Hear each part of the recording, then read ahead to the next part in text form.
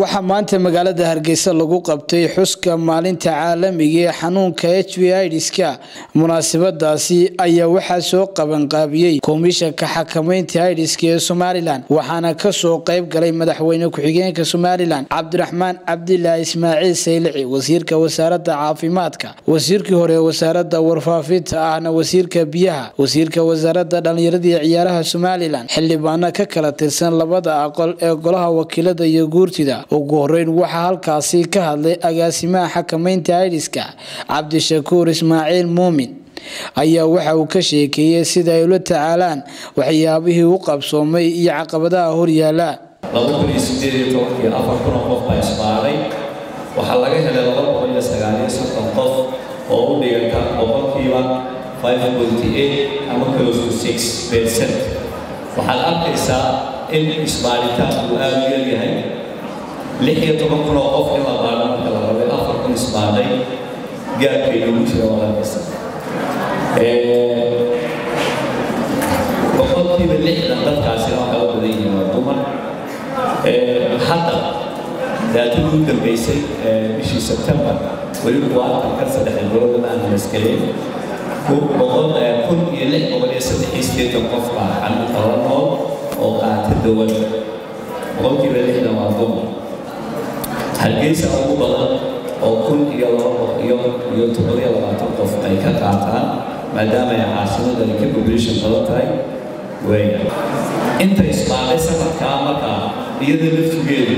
waa afar kun iyo xoogaa. Sanadkan intaan hayno laba kun sagaaliyo tobankii ilaa iyo sebtembar dhimashada shan iyo konton qof weli inaga dhintay dhankoogu waxaa iyaguna hadalkaysa kala daba qaatay wasiirka wasaaradda caafimaadka wasiirka wasaaradda biyaha wasiirka wasaaradda dhallinyarada iyo ciyaaraha iyo doctorisa adna aadan ismaaciil. Oo iyagu munaasabadaasi hadallo kooban ka jeediyey ayaa waxay yidhaahdeen la soo dhaweeyo qalbiga laga qaboojiyo la taageero waxa weye qofku isku arko yahay qof qiimale si noloshiisa ugu dheeraato si wadka waa loo sameynayay inta nolosha lagu qofku uu u noolaado farxad mustaqbalkiisa wuxuu hugsanayna ay ku suurto galaan qodobkaasaynu xoojinaynaa. Anagu haddaan bahda warbaahinta nahay waanu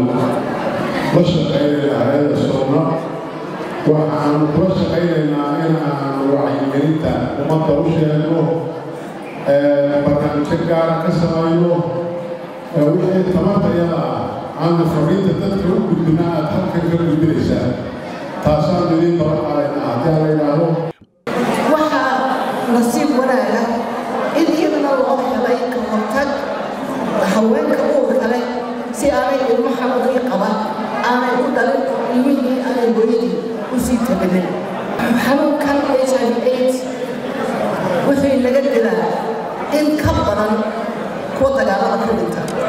wuxuu inaga dilaa in ka badan kuwa waddooyinka ku dhinta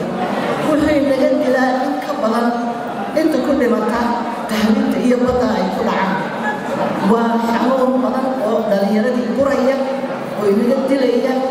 laakiin ka hortag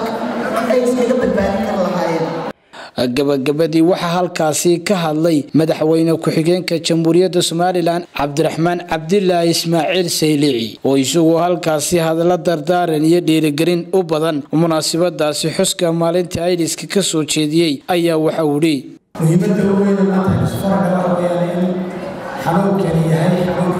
mid ah magaca xanuunka kasarka laga leeyahay ama tb leedahay ama xanuun kastoo jiraa leeyahay in laga saaro waddada oo aan dadka lagu tagtoorin waxaan magalaynaa shalay toban sano ka hor ama dhowr toban sano ka hor tb-deenu wax weyn haysay oo dadkeenu qarsan jiray oo qofku isagoo magaca tb ka iska dhowraya oo foreen bay hayaan dabada dawadii aan qaadanin tursada cishayaad qaato kaasa qaato ku noqonaysa markaa in dawo gacadhaafay dawada qabatay waxay qabeen laakiinse waxay ogaanay dadkii inuu tv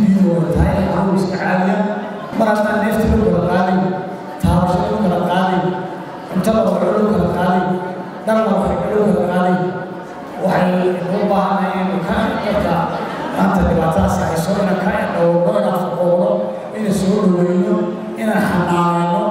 inaan garab joogno sida inteeda jirin dadka xanuunsan ee loo qabo iyaynu isku isfaraynaa dhammaantiin xamse jaamac xuseen xamse awowo star t v hargeysa